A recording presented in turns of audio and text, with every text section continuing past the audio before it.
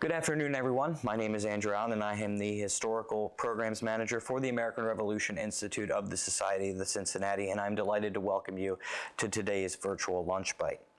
The American Revolution Institute promotes the knowledge and appreciation of the achievement of American independence by supporting advanced study, exhibitions, and other historical programs, advocating preservation, and providing resources to classrooms. Since 1938, the Society of the Cincinnati has done this work from its headquarters, Anderson House, a National Historic Landmark, finished in 1905 as the winter residence of Lars and Isabel Anderson in Washington, D.C. Today's Lunch Bite features the American Revolution's in Today's Lunch Bite features the American Revolution Institute's Research Services librarian Rachel Nellis discussing Mercy Otis Warren's poems, dramatic and miscellaneous from our library collections. Mercy Otis Warren was a prolific writer, especially in correspondence, and was a leading propagandist for the Patriot cause. According to John Adams, Warren was the most accomplished lady in America. Her 1790 publication, Poems, Dramatic and Miscellaneous, contains two plays and several allegorical or satirical poems on the Revolution that were dedicated to George Washington and praised by Alexander Hamilton. This lunch bite will focus on Warren as a patriot, poet, and historian through her published works and correspondence. Rachel Nellis is the Research Services Librarian at the American Revolution Institute, where she facilitates use of the reading room along with the many resources within the library. Originally from Illinois, Rachel attended the University of Texas at Austin and earned her master's degree in information studies with a concentration in archives in 2016. After moving to Washington, D.C. that same year, she was an intern at NPR before serving as an archivist at the Cosmos Club, which is directly across from our headquarters here at Anderson House. Rachel joined the professional staff of the American Revolution Institute in July of 2019, and one of Rachel's major projects here has been building and maintaining the Institute's digital library. So if you've accessed the large digital library on our website recently, you have Rachel to thank for that. Uh, so with that introduction, please join me in welcoming Rachel Nellis. Thanks, Andrew, for that lovely introduction. Mercy Otis Warren is probably most well known for her 1805 publication, History of the Rise, Progress, and Termination of the American Revolution. But that wasn't her first foray into writing or political thought. Mercy Otis Warren has become, along with her contemporaries like Abigail Adams, an example of the Republican motherhood concept. The idea that women and mothers should uphold Republican ideals and pass on their values to their children to ensure good and active citizens.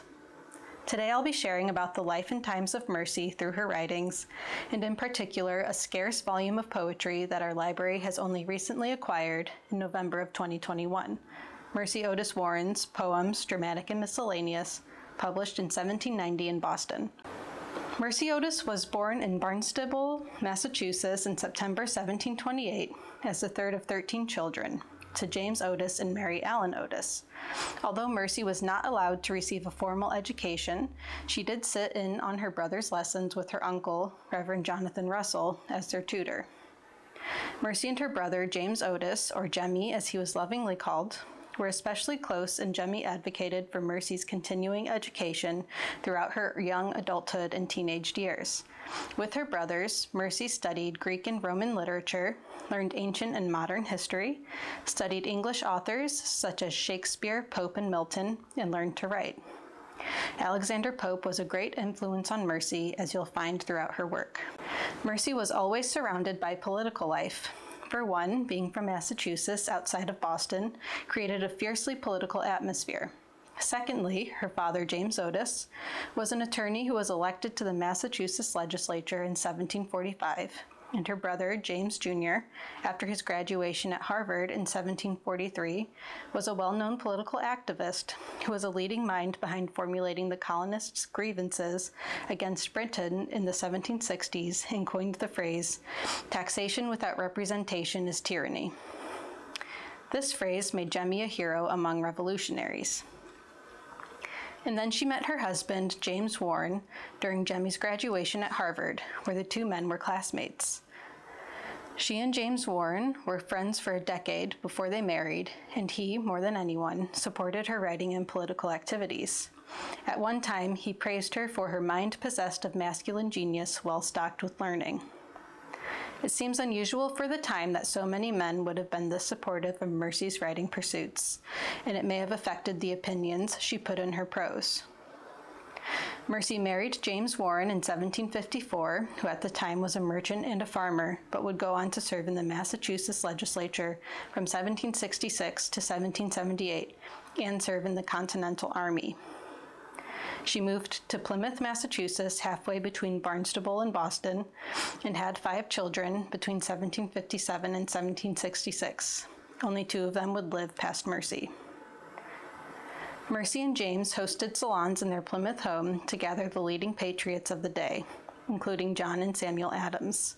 Besides hosting in Plymouth, Mercy was a prolific correspondent having long, meaningful parleys with John and Abigail Adams and Catherine Macaulay, the famed British historian and political writer, among many others. Early in the Revolutionary era, in the 1760s, the Massachusetts Patriots had become increasingly disillusioned with Thomas Hutchinson, the colonial governor. The Warrens led a crusade against Hutchinson, leading to Mercy anonymously publishing the play The Adulateur in 1772 as a response to Hutchinson's poor handling of the Boston Massacre. The Adulateur is a satirical play that was released in two installments in the Massachusetts Spy newspaper. Inspired by the Republican Rome, and her inner circle in Massachusetts, Mercy created a world with a villainous, corrupt governor, Rapatio, Hutchinson, and revolutionaries Brutus, her brother James Otis Jr., Rusticus, her husband James Warren, and Hortensius, John Adams. The play ends with a warning from Brutus and a prediction from Mercy.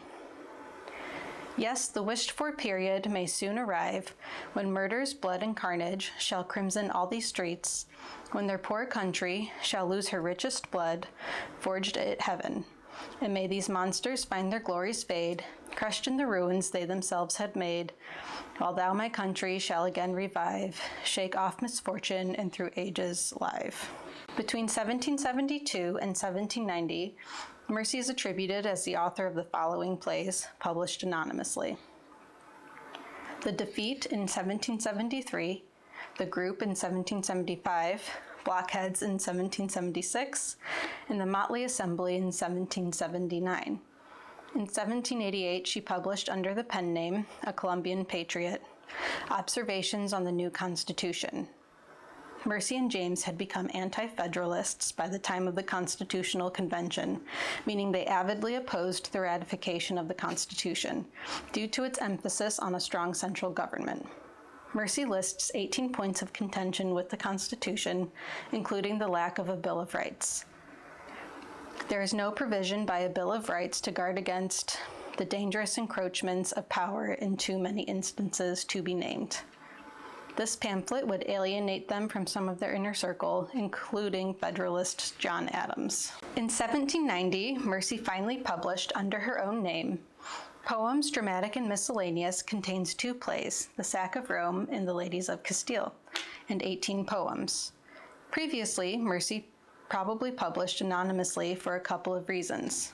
Firstly, to avoid retaliation from the British, and secondly, because she was a female writer who wanted the readers to read her work based on its merits and message instead of focusing on the fact that she was a woman.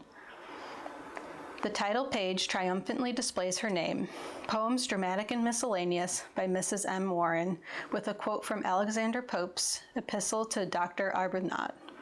Tis a stranger sues, a virgin tragedy, an orphan muse. The next page begins a four page dedication to George Washington. George Washington and Mercy Otis Warren were frequent correspondents. So, on May 18, 1790, Mercy wrote to George Washington from her home in Plymouth Sir, Though it is my wish to prefix the enclosed dedication to a volume prepared for the press, I would not take this liberty without first asking your permission.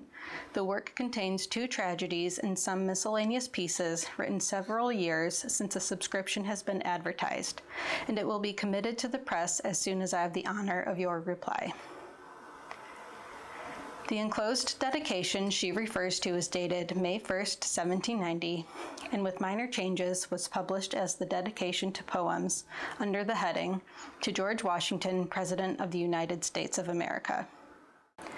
The first paragraph reads Ambitious to avoid both the style and the sentiment of common dedication, more frequently the incense of adulation, and the result of truth, I only ask the illustrious Washington to permit a lady of his acquaintance to introduce to the public, under his patronage, a small volume written as the amusement of solitude at a period when when every active member of society was engaged, either in the field or the cabinet, to resist the strong hand of foreign domination. And the last, Feeling much for the distresses of America in the dark days of her affliction, a faithful record has been kept of the most material transactions through a period that has engaged the attention both of the philosopher and the politician. And if life is spared, a just trait of the most distinguished characters, either for valor, virtue, or patriotism, for perfidy, intrigue, inconsistency, or ingratitude shall be faithfully transmitted to posterity by one who unites in the general wish that you, sir, may continue to preside in the midst of your brethren until nature asks the aid of retirement and repose to tranquilize the last stages of human life. Washington responded to Mercy's May 18th letter on June 4, 1790. We are lucky enough to have this letter in the Institute's library collections to go alongside our copy of poems. Madam, I did not receive before the last mail the letter, the letter wherein you favored me with a copy of the dedication which you propose affixing to a work preparing for publication.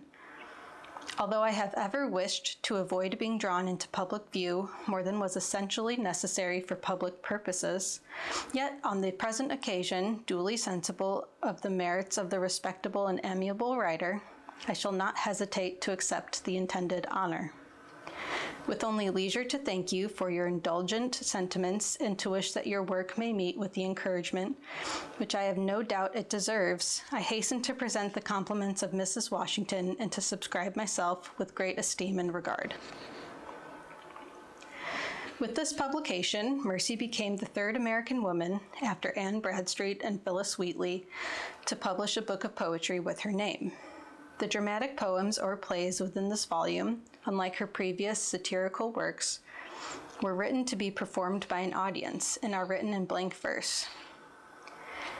And at one time, in 1787, three years before publication, Mercy even attempted to have one of them performed in London, to which John Adams replied that nothing American sells in London. The Sack of Rome, originally dedicated to John Adams, but the dedication was removed for the 1790 publication, was first written in 1787. It is based on the classic The Decline and Fall of the Roman Empire and dramatizes the fall of Rome. Within Roman walls, Emperor Valentinian is destroying the way of life, while outside the Vandals wreak havoc. The most complex roles in this play, however, are given to the women attempting to restore their city to peace with their virtue. The women in her plays are creating and preserving virtue for prosperity. This idea is brought up again in The Ladies of Castile when the protagonist, Maria, says, Virtue must spring from the maternal line. Her goals for the play are outlined in her 1790 introduction. In tracing the rise, the character, the revolutions, and the full of the most politic and brave, the most insolent and selfish people the world ever exhibited, the hero and the moralist may find the most sublime examples of valor and virtue, and the philosopher the most humiliating lessons to the pride of man and the turpitude of some of their capital characters. My first wish is to throw a mite into the scale of virtue, and my highest ambition to meet the approbation of the ju- judicious and worthy. In the one, I am gratified from the reflections of my own heart. For the other, I wait with diffidence the determinations of the candid public. The Ladies of Castile, which is regarded as the better of the two dramas and one of Alexander Hamilton's favorites from the book, was originally written in 1784 at the bequest of her son Winslow and set in Spain in the 16th century. Ladies focuses on the two contrasting widows, Donna Maria and Donna Luisa, who both lose their patriot husbands to the conflict. Donna Maria acts courageously, in Mercy's opinion, to continue her husband's fight for liberty after his death. She refuses to wail in vulgar grief or meet a lingering death beneath a tyrant's foot.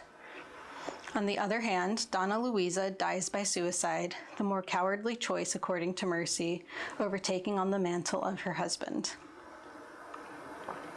In the introduction to the play, written to Winslow, Mercy writes, I have recurred to an ancient story in the annals of Spain, in her last struggles for liberty, previous to the complete establishment of despotism by the family of Ferdinand.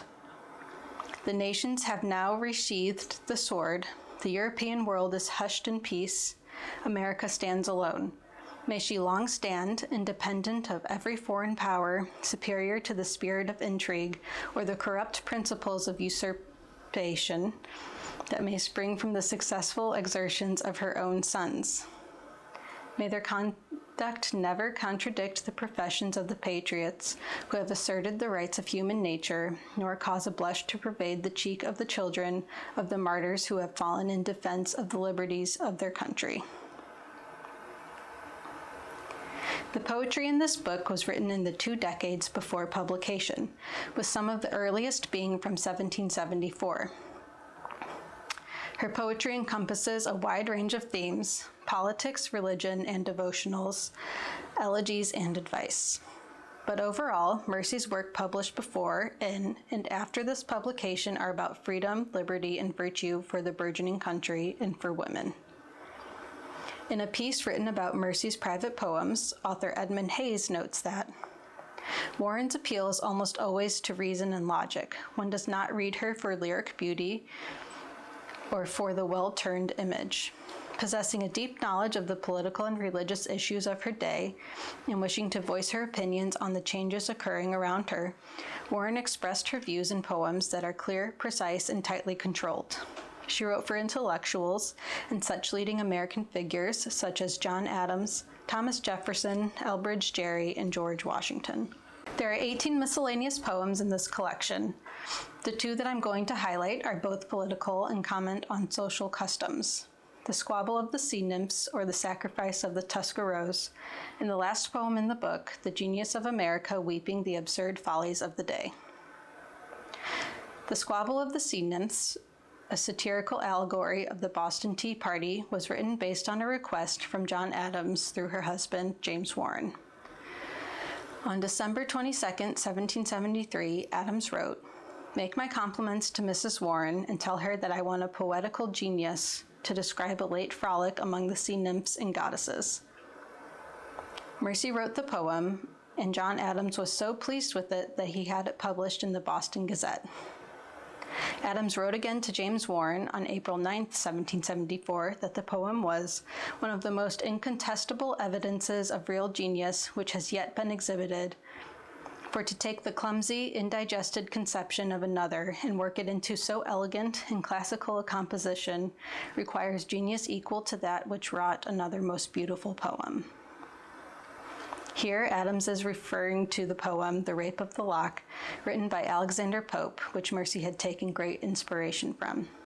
In poems, Sea Nymphs is prefaced with the following The important political events of 1774, when several cargoes of tea were poured into the sea, has been replete with mighty consequences and will never be forgotten in the history of American independence but the author's own opinion of the equity or policy of this measure is not to be collected from a political sally, written at the request of a particular friend, now in one of the highest grades of American rank. Like many of her poems, Mercy also slips in commentary regarding women in politics, writing, for females have their influence o'er kings, nor wives nor mistresses were useless things.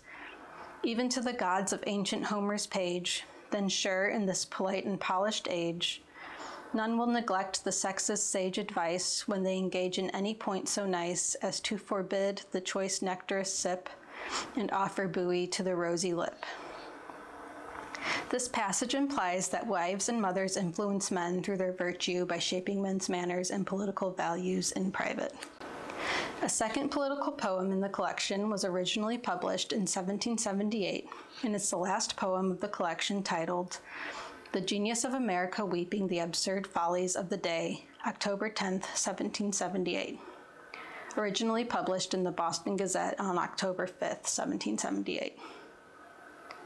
This poem was written in response to the changing political climate in the late 1770s.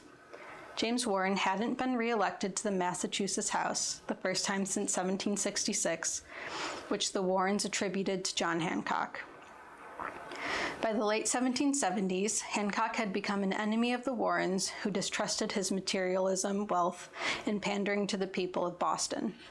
Mercy and her peers were concerned with the hoarding and smuggling of goods, displaying a selfishness that, in her opinion, was detrimental to the revolutionary cause and to the future of the country. The poem begins with O tempora or mores, or O the times, O the customs. Mercy reflected that the piece was written when a most remarkable depravity of manners pervaded the cities of the United States in consequence of a state of war, a relaxation of government, the sudden acquisition of fortune, a depreciating currency, and a new intercourse with foreign nations. Mercy longed for virtue, which she felt was being betrayed by the nouveau riche who thrived on materialism. Much of the poem explores this idea. For example, who grasps the dregs of base oppressive gains, while luxury and high profusion reigns. Our country bleeds and bleeds at every pore, yet gold's the deity whom all adore. Except a few whose probity of soul no bribe could purchase nor no fears control. Warren's personal losses before the publication of this book influenced her writing of the elegies featured in the collection. Her brother and confidant, Jemmy, had suffered from mental illness throughout his life, and a blow to the head during an altercation with a Crown officer in 1769 had left him disabled and out of public life, eventually dying in 1783 after being struck by lightning. Her sister, Mary Otis Gray, died in 1763, and her son Charles died in 1785 of tuberculosis at the age of 23. The poem written a year after Charles' untimely death, titled Lines Written on the Anniversary of the Death of Mr. C.W., an amiable and accomplished young gentleman who died in St. Lazare, 1785. The poem acknowledges the pain felt by Mercy and James while also communicating their acceptance and knowledge of Charles' virtue. Oh, lend a moment to a parent's grief as wounded nature asks this kind relief. Long have I trod o'er life's most brilliant stage, read its deceptive visionary page. Its richest hope in rapture lifted high, I now survey with retrospective eye. Its brightest boon, oft my transported heart, in fancy hugged, but time's insidious dart. Checked each fond wish, relentless swept away, as tender foliage in a frosty day youth, vigor, friendship, and the ripening bloom of early genius shrewds and sees tomb. Other elegies in the collection include a comforting note to Abigail Adams titled To an Amiable Friend Mourning the Death of an Excellent Father, and an elegy for her dear friend, John Winthrop, on the death of the Honorable John Winthrop, Esquire, and addressed to his lady, Hannah Winthrop, another one of Mercy's close friends and correspondents. The book was sent to a number of her peers, and she received glowing reviews. In our library collection, we have the letter that Hamilton wrote Mercy in acknowledgement of receiving and reading the book. It contains one of the most quoted lines about Mercy's genius.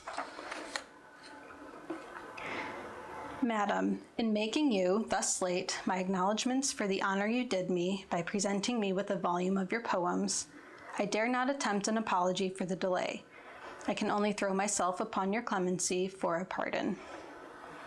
I have not, however, been equally delinquent towards the work itself, which I have read more than once with great interest. It is certain that in the Ladies of Castile, the sex will find a new occasion of triumph. Not being a poet myself, I am in the less danger of feeling mortification at the idea that in the career of dramatic composition at least, female genius in the United States has outstripped the male.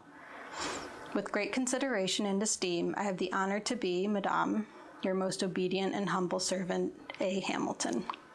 After the publication of poems, Mercy turned her attention to finishing and publishing what most regard as her magnum opus History of the Rise, Progress, and Termination of the American Revolution, a three volume set published in 1805. She was 75 and would be one of the first American women to publish a nonfiction work. We have the three volumes in our own library collection. Mercy had been working on this publication since the start of the war, understanding the global awareness and impact of the American Revolution. She had insider status and information that other historians wouldn't have been privy to by asking her peers for their personal accounts of the war, as well as any documentation. Through her writing of this history, she burned some bridges, including the Adamses, from whom they were already somewhat estranged due to their differing political leanings. Her publication of Observation had betrayed John's Federalist ideals, and this publication only further exemplified their ideological rift. Despite this, she did not shy away from criticizing anyone she felt betrayed the ideals of the revolution. It is a comprehensive history where she analyzes and assesses the war and includes character pieces that shed light on the leaders. History, however, did not gain the critical acclaim that poems had and was largely ignored by reviews. Today, it's regarded as an essential contemporary account of the American Revolution. Mercy died in 1814 at the age of 86. Her legacy, however, has lived on. Her publications shaped the patriot cause during the war and continue to affect revolutionary memory today. She fulfilled her Republican motherhood by writing and sharing her experiences from during and after the war. Elizabeth Ellet, one of the first American historians of women and the author of The Women of the Revolution, first published in 1848, features Mercy Otis Warren. She wrote, the name Mercy Warren belongs to American history. In the influence she exercised, she was perhaps the most remarkable woman who lived at the Revolutionary period. In more modern times, Mercy's statue was placed in front of the Barnstable Courthouse in 2001 beside her brother.